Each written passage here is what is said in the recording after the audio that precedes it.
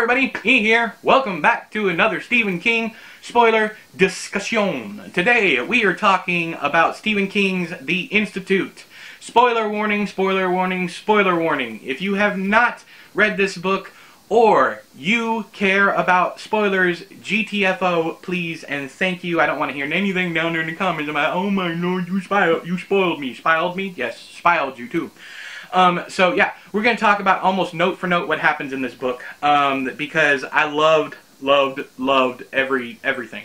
Um, so the book opens up with Tim Jamieson. Tim Jamieson um, is a disgraced cop. He uh, heard some ruckus at the mall and he went to go check it out and he shot uh, his gun. He did a warning shot, which cops aren't supposed to do to begin with, but then a light fixture fell and knocked some kid out and he was disgraced and he was fired and told to move on. He tries to get onto a plane. He gets onto the plane and something tells him to get the hell off the plane. So gets off the plane. This was a brilliant move on Stephen King's part because I'm like, okay, so we're gonna find out that you know somebody on the plane was psychic, and that's how we end up in the institute, and maybe he becomes a security guard at the institute, whatever. Um, and maybe you know it was one of those psychic things that made him get off it, whatever. Um, that that doesn't happen. What happens is he ends up hitchhiking to a town in uh, DuPray, South Carolina. He gets there um, he ends up taking a job as a night knocker. Basically, it's you know what what we did before social media and telephones and all that stuff. Just walked around town, or alarm systems, that kind of thing. Just walked around town knocking on doors to make sure businesses were secure, to make sure people were all right. Just checking up on the town. So he gets that job. That goes so well. Um, he ends up stop stopping a well, not stopping. He ends up uh, stumbling across a robbery, and the, the that scene with the with the shop owner getting shot was an amazing scene for me. I, I loved it. Um, I, I was so I, I had such concern for this person that I hadn't even met in the book yet. That's an amazing feat. Um, after that, he gets promoted. Um, he hasn't yet been promoted. He's still the night knocker, but you know that he is going to end up taking over the deputy position, and the old deputy is going to become the night knocker um, because he doesn't really want to do the deputy job anymore. And then we don't hear anything from Tim Jamieson and that whole crew. Oh, Orphan Annie. I hope I don't forget to talk about her at the end. Let's just talk about her now. Orphan Annie is a homeless lady who believes that uh, they are after her. Just the they. She's a conspiracy theorist. She listens to a, a show that is hosted by George Allman um, about aliens, uh, the government, uh, secret organizations, all that stuff. I loved, loved the uh, Orphan Annie uh, character. I, I, loved her whole character arc. Um, it's just so much fun reading her because she comes across as batshit crazy, but she is the only one who's in the know. Spoilers, of course. It's spoiler discussion. Let's keep on spoiling. Then we jump from that. We completely leave Tim Jamieson's storyline behind. Say goodbye. Bye, just wave. We end up jumping into the shoes of Luke, who is a little boy. He's uh, precocious. He's uh, brilliant. He's a genius. And he also has a little bit of the movie movie, like Carrie uh, which is very important here. Uh, we'll get into all that stuff in my Thursday Theorist. Um, so please leave all those comments for that video next week. But we, we, it, it, things go off the rails very quickly.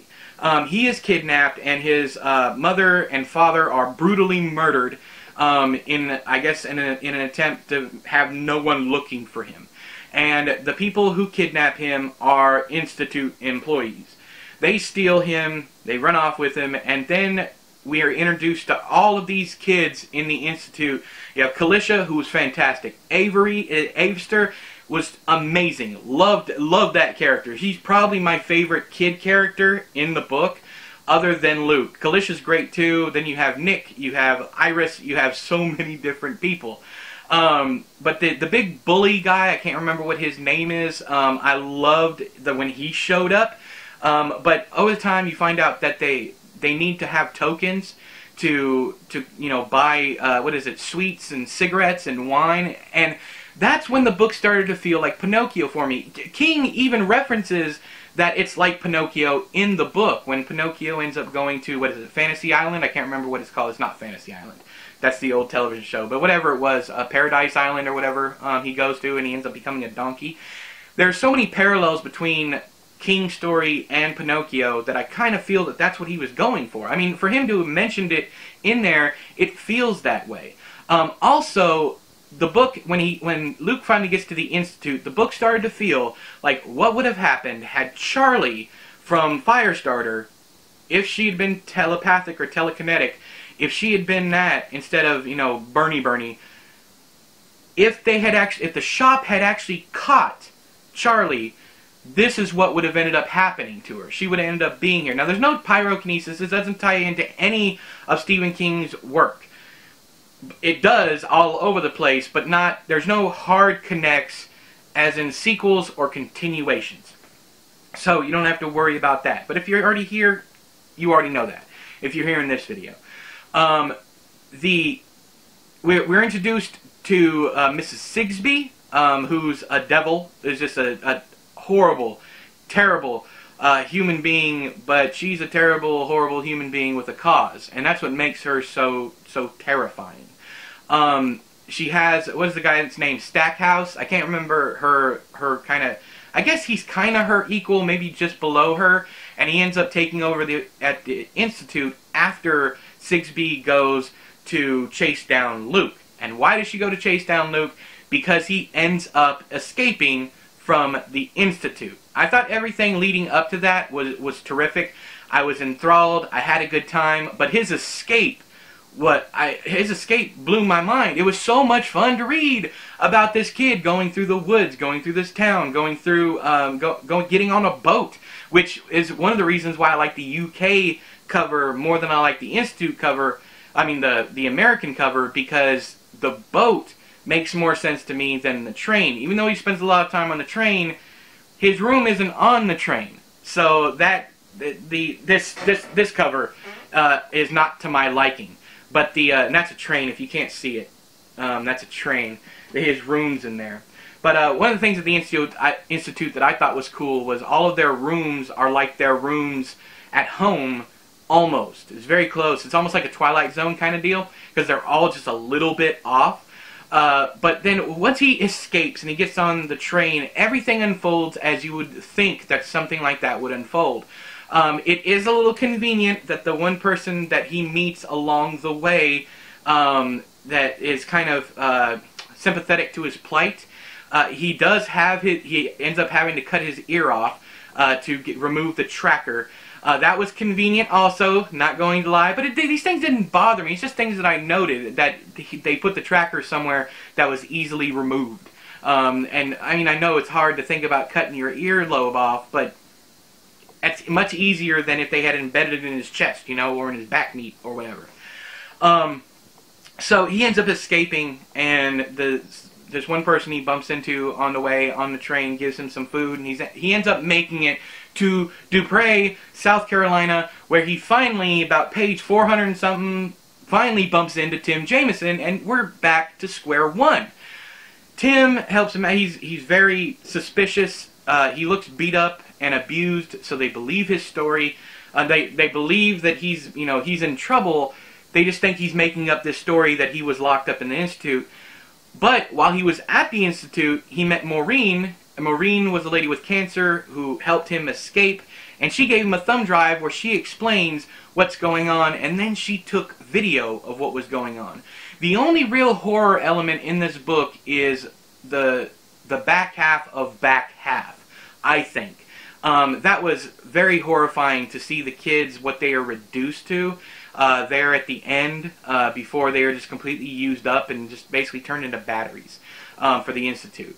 And we're going to get to why in a second. But uh, the the shootout in in town when the uh, when the Institute folks show up in DuPray, that was fantastic, man. I had a lot of fun. The book does slow down a little bit when they're trying to get back to the Institute, but that was fine for me because I like these characters and I really didn't want the book to end. But then we finally get back to the Institute and all the kids have come together to, you know, charge up and get all their power in one place and they find out that there's other institutes in all these other places and uh, all these different international, you know, different these different countries that are not in America, and there's several different ones, and they they link minds with those kids. And the fucking institute, they they lift it off the ground and drop it on the other half.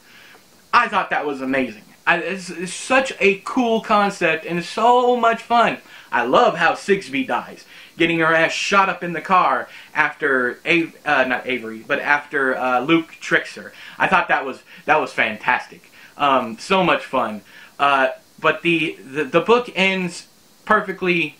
Uh, there's even a little maybe exposition, a little too much explaining there at the end. But we had to know, right? I wanted to know if it was the shop, I, and of course I think it's the shop. I think it's just called something different. I'm pretty sure this is the shop that has been working to gather all this intelligence all this time. But we learn that what the Institute was doing was preventing the end of civilization by nuclear war, by radiation fallout, whatever you want to call it, by nuclear war, uh, any of that stuff. I just said nuclear war twice, but um, any of those things, biochemical war, any of those things. It, that's what they've been doing. They've been using the children to assassinate these, uh, almost like in a minority report uh, kind of storyline where uh, they use these precogs, precognitives, um, who know the future, and then they discuss the uh, the ambivalence of whether or not the precogs are actually predicting the future or if just they are predicting maybe one timeline. So many questions there at the end. Don't get me wrong, this isn't an open-ended book, I feel. Everything is wrapped up in this story. Is there a possibility that we could move on and find out more about these precogs? Yeah, there could. Is he going to write a sequel? I have no idea. But uh, the the way the book ends, I, I just I was I was left with this with this huge question: Why why would we do such a thing to these children to drain them, to make them batteries to save ourselves? But the answer is, of course, what we would. Um, we would sacrifice the smaller of us. I mean, we, we do it nowadays. We would sacrifice the smaller of us to maintain the status quo. Um, and I said this in my uh, non-spoiler review, but it, it's it's enlightening at least for me, an eye-opening. I mean, it's, it's things that I've thought about before, but it really, really dug deep. It dug its claws into me reading this book. It's like, how far are we willing to go to make sure that we are all right? As long as it's not happening to us, how far are we willing to go? And of course, most of us, hopefully, would say, you know, we would choose not to torture children to make sure that there's no nuclear war but would we really, given given that you know torture children or die in nuclear war, how many of us truly would pick nuclear war and the destruction of mankind? That is a fascinating question, and there's no good answer to either side of it. I dig that shit. So anyways, that's that's what I loved about this. Um, I, I talked more about stuff that I love that's non-spoilery, so if you haven't watched my my regular review, go check that one out. It was uploaded just before this one. Uh, I had a lot of fun with this book, man, and I the more I think about it, the more I like it. It's the exact opposite of Elevation and Sleeping Beauties, where the more I thought about it, the more I hated it. Um, and I'm sure there's probably plot holes or something or whatever. I just don't care, man. I really don't. It was one of those things, just like with the Hodges trilogy, the first book, I just didn't care if there were plot holes. It was a fun read. I loved reading the book. I loved the characters. Well, Hodges I could have done without. I know that's weird since he's the main character in first two, but Holly Gibney was amazing. Are you excited for If It Bleeds? Are you? Because I know I am. So, anyways, this is a spoiler discussion, so talk about what you liked and what you didn't like down there in the comments below. If I don't respond to your didn't likes, it's probably because I don't want to think about the didn't likes, so I apologize, but if you want to talk about what you like, I will happily talk about that. Not saying I won't respond to your didn't likes, but I might not. Just don't take it personally. It's just because I love this book so damn much. I hope that makes sense. But until next time, I have been E, you have been you, this has been another Stephen King spoiler discussion review. I'll talk to you guys later. Bye-bye!